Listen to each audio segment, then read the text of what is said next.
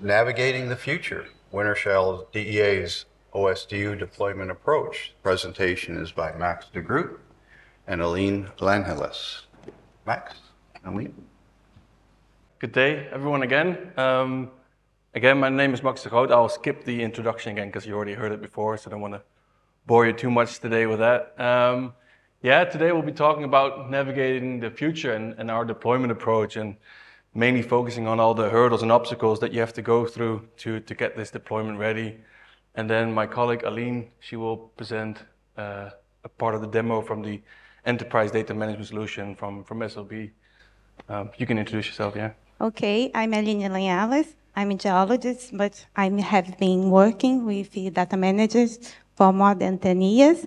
I'm working in Terra Nova project and I'm testing the application, ingesting data like wells, seismic, and documents. That's it. Thank you. Yeah, so I tried to, I was thinking of how do I summarize our journey, our OSDU journey in one slide. And um, all of a sudden just popped into my head this program that was on TV, maybe you know it, maybe not, the um, program called Wipeout. And I tweaked it a bit, got a video offline, tweaked it a bit, and came up, hopefully it works, came up with this one. You know, stakeholders, cost reduction, migration mountains, you know, every other excuse you can find not to go ahead and then you fall in the puddle of all the excuses combined, which is in the company. So she didn't make the finish, or I have a very good washing machine, or we actually did get there uh, in the end. Um, so we did get approval from the board to go ahead with the deployment plan. Um, and apart from gaining nine kilos from stress eating, uh, it was all fine, our journey. Um, maybe to jump straight on the migration mountain. So what you hear all the time is, it doesn't work for all data types, so why do we go ahead? Don't get stuck with this idea, but focus on what is achievable. Be pragmatic. Um, for us, well data seismic documents was more than enough to go ahead. We already saw the big advantages there, and we decided to take a few steps to actually, you know, um, get our data into OSDU. So the first one was don't build your own data ingestion tooling. We're not big enough for that. We don't have the resources, so we want something off the shelf. Um, and um, steer maybe development there.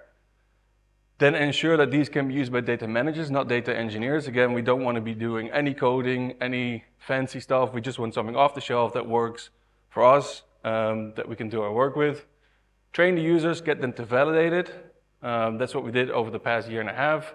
And, and improve quality or, or whatever it needs. We, we, we wrote down a lot of enhancements and bugs and or more enhancements that we wanted to see and those got implemented as well. Then the next step will be prove OSDU as a catalog system. So we want to get rid of our archive databases. Uh, so we want to prove that we can actually, I mentioned it before, regardless of where data is, we want to be able to find it in OSDU. So it needs to work as a catalog. Um, then we wanted to dissolve some legacy, yeah, the, the legacy archive system, but also some databases that we already see. Uh, those can be moved into, into OSDU. Um, next step would be then move a non-operated asset for one BU into the OSDU. Is that a success? We go on to an operated asset from one BU, and then we go on to the next one, and then repeat the whole cycle basically, or part of the steps repeated. Then, um, yeah, when looking at the database that we wanted to, to dissolve, so we are, again, we were a merger of two companies, Wintershall and DEA, and we all had our own uh, data landscape and we saw that we could actually uh, dissolve 10 databases slash applications, uh, which would come alone with a cost saving of 1.4 million euros, which covered in our case more or less already the deployment scenario. And now the question that you need to ask yourself is how many corporate well and seismic repositories do you have? And do you have a similar um, um, landscape in the background?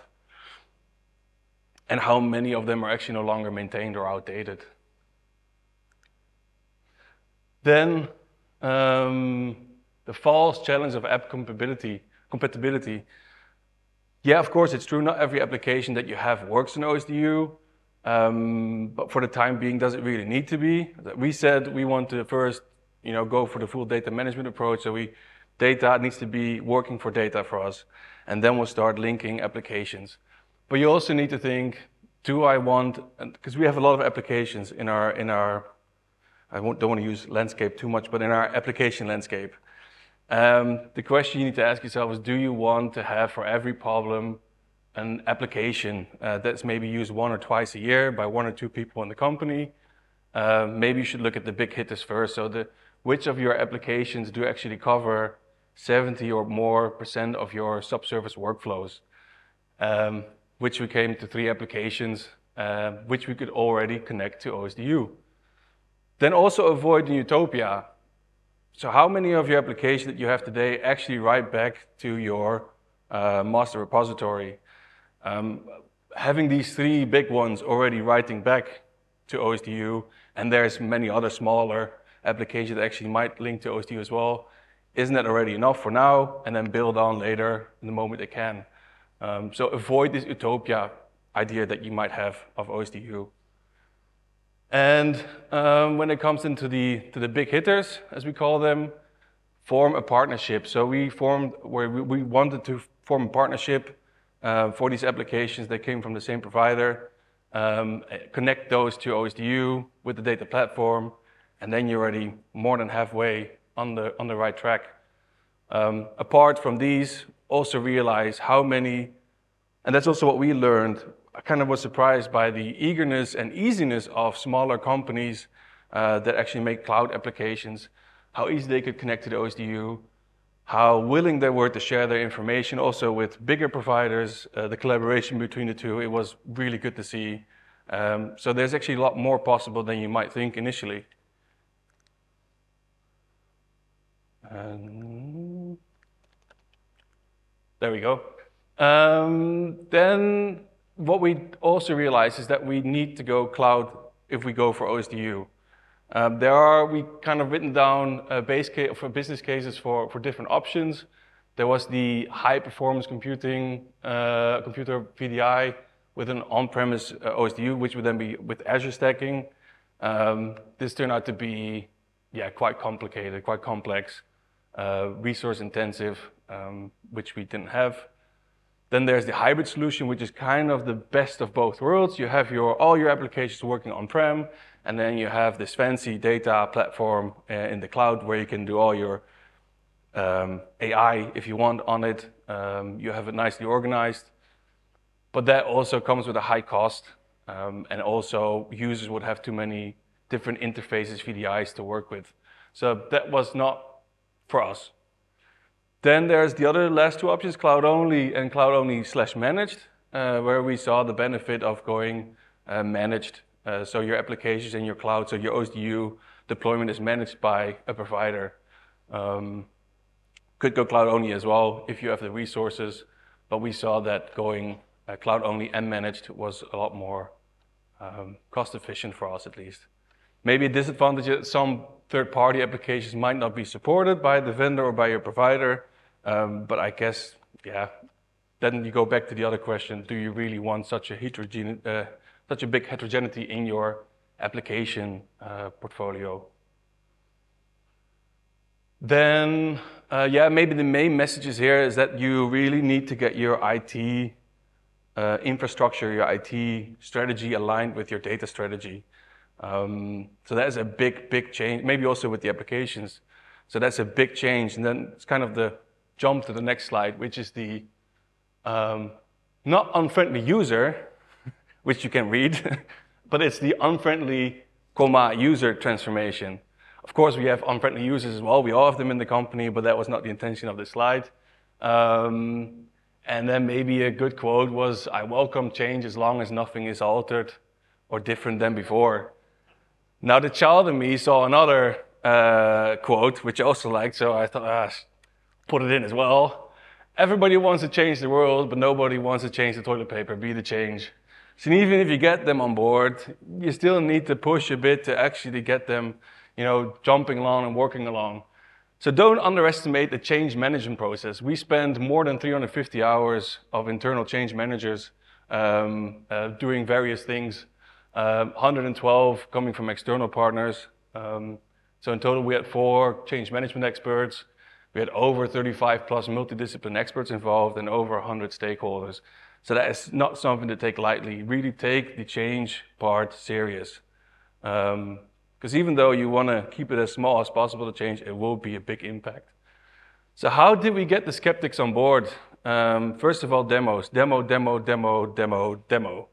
Uh, show them what you can do, show them how it's done, um, show the improvement, also compared to what you had in the past. Um, have interviews, so we had our change managers having interviews with the, with the colleagues, getting kind of personas in, also asking their, um, um, their advice, uh, asking their preferences, and actually we got nice feedback saying like, this is the first time in years that somebody asked me for my opinion. Normally it gets pushed down from the top, and now I'm actually able to be involved in the whole change topic and the change process, which actually gives more confidence to the people as well. Um, so that is also something that we did. Workshops, so writing out our data lifecycle, then checking how can OSDU, in, uh, OSDU improve our data lifecycle. Also try to figure out that if we go OSDU, what will be maybe a blockage in our data lifecycle, which luckily didn't, uh, there was no, for the, for the data that we wanted to ingest, there was no blockage at the time. Uh, not now that I know of, but you never know in the future. But uh, we didn't uh, identify a blockade there. So that was also good. So two workshops. Then make them part of the development, so the bug and enhancements. It's more enhancement than bugs. Um, so if they see something that they want to be improved, Maybe not so much on the OSDU. Of course, if there's something uh, that they have knowledge on for OSDU, we can push that forward to the forum as well, but also on the application, uh, the data application tool on top of it. So really make them part of the development. Um, train them, train them on the tools, but also give them training on what happens in the background. So we did actually with our partner SLB, we asked them to train our data managers a bit on the mapping. Not per se to actually doing the mapping later on itself because it's quite complex, but at least to have a better understanding of what's happening in the background with your data.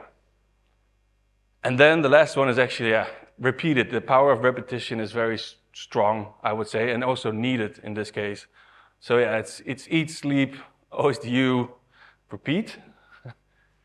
um, yeah, and then a nice quote. I won't read it all out, but a nice quote from our change management uh, group um, on the right side. So Again, don't take change uh, lightly. Really put some effort and resources into it. Now, the next slide I will skip because that is more uh, what I said to this today as well during the panel discussion. Um, but that would be our approach for the future, so our, our uh, pathway basically to, to uh, towards August. Um, and then we come, I think I rushed through it, ah, not too bad. Um, we'll get to the demo, which will be given by Aline. Uh, Just back. a minute. Yeah, just a minute. It's on pause now. Yeah. Okay, so this is the landing page when we launched the data workspace. Sorry. okay. So uh, the users can access all the data uh, available that he, she entitled to. So, so in this, uh, this side, you can see all the models available, like utilities, data opens, and you can see all the data space that users can see. So all the data types is available in the demo. And now we will have an overview about all the data products available. In the middle of the window, you can see an overview about all the data. And you can also do some special search if you want to see data organized by operator, for example. On the right side, you can see some web maps available. And you can also add some features like layers. But let's see an overview about one wells. And you can see all the data record for this well bore, like well log, documents, fields, everything is also in the top of this window. And going to the details, let's see an overview about this well bore. On the right side, you can see all the related data, like well bore, logs, and also check shot. You can also add a tag, and this tag will be easily to find this data later on. And then I will show you how you can search for it in the global search bar, and then just look for the data tag that you just created. You can see the overview about this well check shot for this well bore. Let's talk about documents inside. Once the documents is ingested in OSDU environment, you can extract all the information from these documents, even if it's a scanned image. All the artifacts will be generated and presented. You can go, for example, as you can see here, for the tables, and you can extract this table for spreadsheet, as you can see. And the users can use it later on. So let's have an overview now about QC rules. You can go to the well bore again and check all the QC rules and QC report that was created for this well bore. And then the users can monitor all the QC rules that run in this window. And you can see all everything for the, for example, for the parent well bore. If you have a QC report, you can check it later on. So, but let's see how we can create this rule. Going to the data quality, the QC score can be automatically certified and published wherever you want. You can decide if you want to push this, this data to OSDU or not. You can also see that you, it's possible to define the threshold uh, manually on the left side. And for example, if the data has low score, you as data manager can check the data again and see what you can do. So let's see an overview about 2D and 3D seismic. In the next window, you can have an overview of everything, all the data that was ingested. You can also see the map, locations, and go into the details. We can go to the trace viewer, and you can choose inline, cross line, whatever you want. And you can also use some tools available, like scales, change the color bar, or gains, whatever you want like in interpretation project, similar. So finally, I will talk about data package. You, as user, can create a small data package to share. You don't need to share all the data from OSDU. You just create a list of this data, like logs, documents, and you can share it with internal users and also partners, and you can put them like viewer, corner, wherever you want. And then the user can download the, this data and share. It's something good because it's bringing a lot of benefits, because nowadays you need to share data by uh, email, tapes, something like that, but now you just upload the data in the data workspace, and then you can have it available for everyone. You can also uh, check the historical of the, this data and check who downloaded it and who uh, did the last update. And that's it from my side. Sorry to be so fast. Thank you so much. Yeah. Thanks, Aline.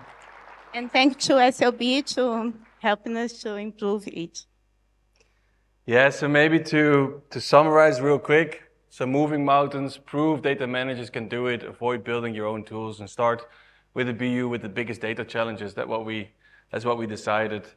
Um, false challenge of app compatibility. Uh, compatibility. Um, don't aim for the ultimate flexible. Um, be a bit more pragmatic. Um, On-premise chicken and egg, so we did see that we need to go cloud to go OSDU. Um, so have that in place. Make sure that your in, IT infrastructure or strategy aligns with your OSDU future. Um, and yeah, change management. Get the uh, unfriendly user transformation uh, fixed. Now the next slide, I actually wanted to take it out, but I promised our program manager Sean Mackey that I would keep it in. Um, but we have this quote or this, this slogan in the company or in the team which is OSDU, OSD what? OSDU. so that was it. Thanks. Yeah.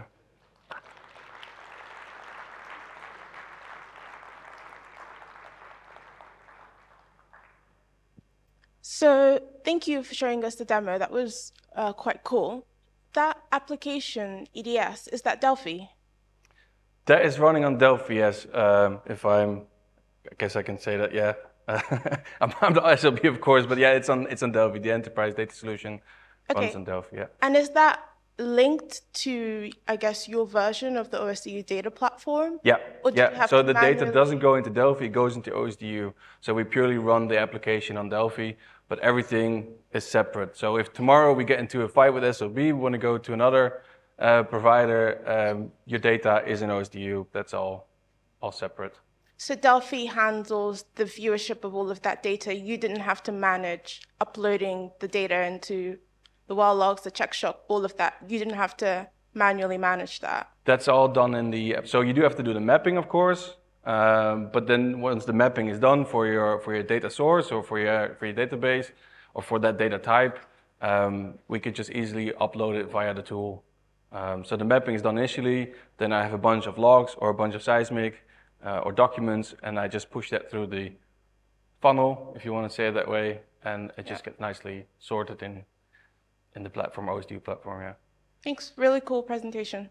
Thank you.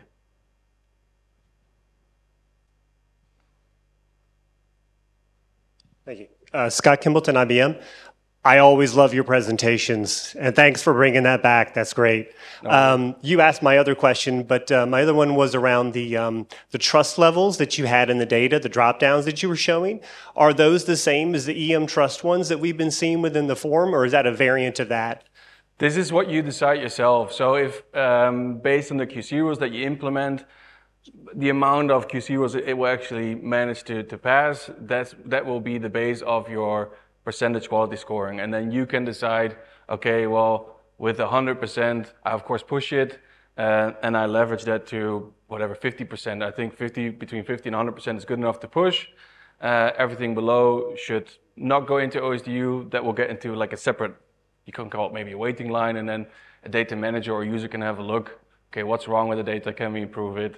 Um, do we still want to push it? Yes or no? Um, but that's all. Um, let's say you decide that yourself. You decide what kind of QC rules you put in, and then what the quality scoring is that you will push into OSDU. Good. Yeah. Thanks.